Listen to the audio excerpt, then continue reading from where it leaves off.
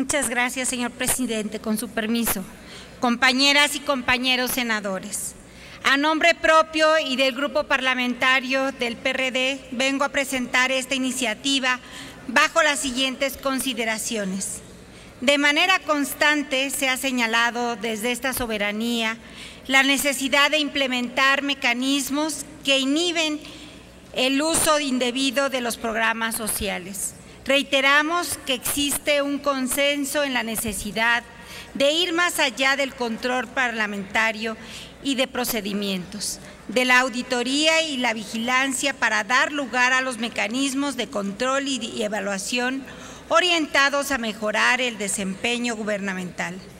Por ello, proponemos reformar la Ley General de Desarrollo Social con la finalidad de trascender la idea del padrón de beneficiarios y derivado de esta reforma, crear una ley que establezca el registro único de beneficiarios de los programas sociales,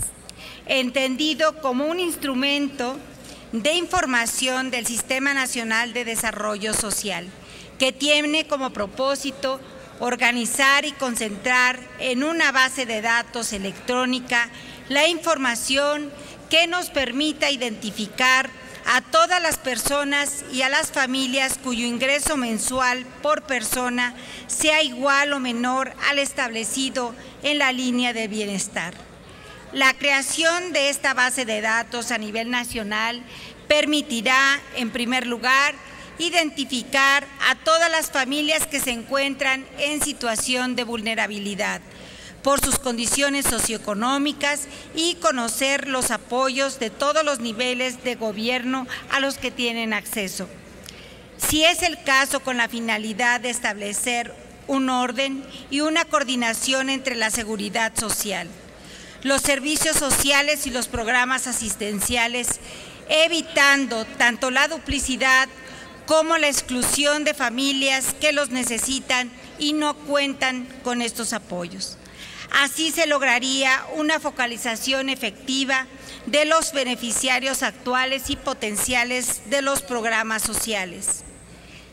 Esta es una respuesta ante la ausencia de una política social global y articulada que nos permitirá graduar las intervenciones gubernamentales en materia social y su cobertura según las necesidades y características del hogar, de la familia y sus integrantes. La información registrada servirá de sustento y fuente para el diseño, la planificación e implementación de la política social, así como para la evaluación de su impacto en el desarrollo de las familias, al permitir dar seguimiento y sistematizar sus resultados. Con ello, se dará un salto cuantitativo en la evaluación de la política social al pasar de evaluaciones operativas y de cumplimiento de metas según el presupuesto de programas específicos a una verdadera evaluación de impacto. Es una respuesta que le apuesta al papel central que jugaron los gobiernos municipales, donde la, la, participación ciudadana será fundamental para el levantamiento y actualización de la información, por lo que solo se requiere generar sistemas incentivos a la gestión municipal para que participe de manera activa en el registro único. Aunado a lo anterior, este mecanismo sería un paso fundamental para la gestión compartida y coordinada de la política social, aun cuando se cuenta con la experiencia de los padrones de beneficiarios como el, el del programa Oportunidades, por mencionar un ejemplo, se trata de extender su uso hacia todos los programas sociales en todos los niveles de gobierno. El registro está concebido para convertirse en el instrumento obligatorio para la selección automatizada de los beneficios de los programas sociales, así como para dar seguimiento al desarrollo de las familias, entendidas estas como la unidad nuclear eventualmente ampliada para otros individuos que con, e, ella poseen lazos de parentesco o de afinidad que forma un grupo doméstico que vive bajo el mismo techo y que se mantiene por la contribución de sus miembros. El gobierno federal tiene la responsabilidad de diseñar y apoyar la implementación del registro único, estandarizar los procesos y financiar la inversión inicial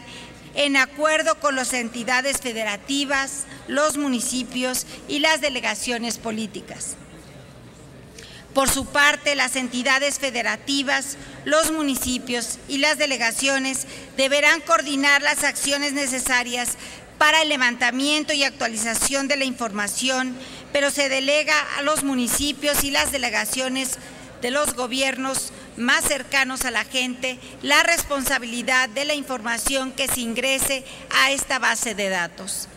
También señala claramente los datos mínimos necesarios que contendrá el registro y señala que estos deben ser estrictamente de carácter socioeconómico y no de otra índole.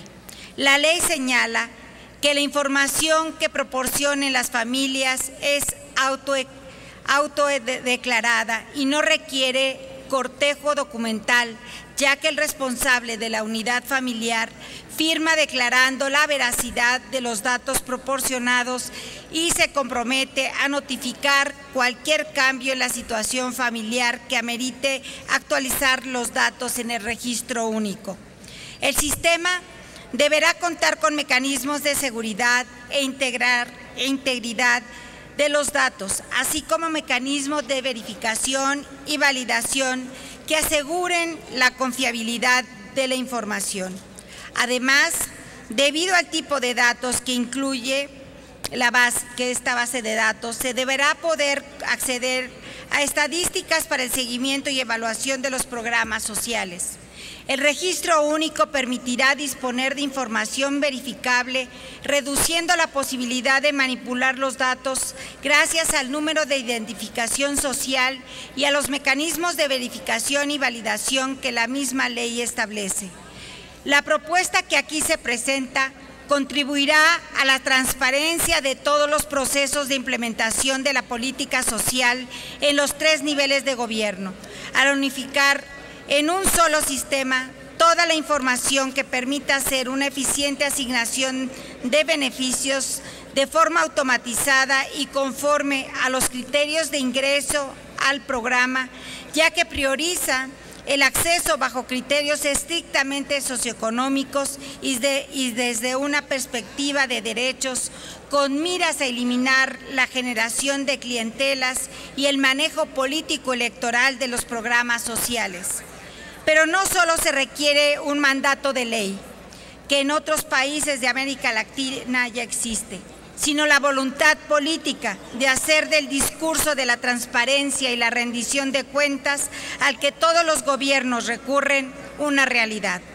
Esta voluntad será la clave para el éxito del registro único y dado que en reiteradas ocasiones eh, los ejecutivos federales y estatales se han pronunciado en favor del blindaje de los programas sociales, no vemos argumento que se oponga a la institucionalización del registro. Entonces, sí se puede. Señor presidente, solicito que sea integrada la presente iniciativa completamente para ser plasmada en el diario de los debates. Es cuanto, señor presidente. Con gusto, senadora.